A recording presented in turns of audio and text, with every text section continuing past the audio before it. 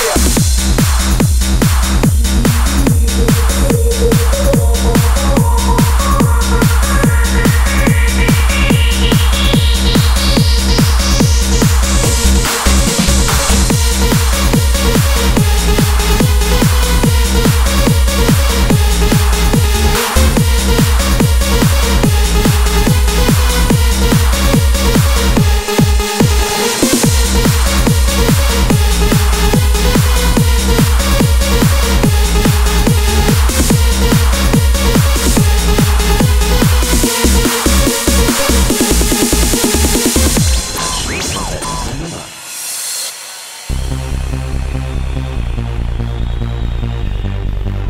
you.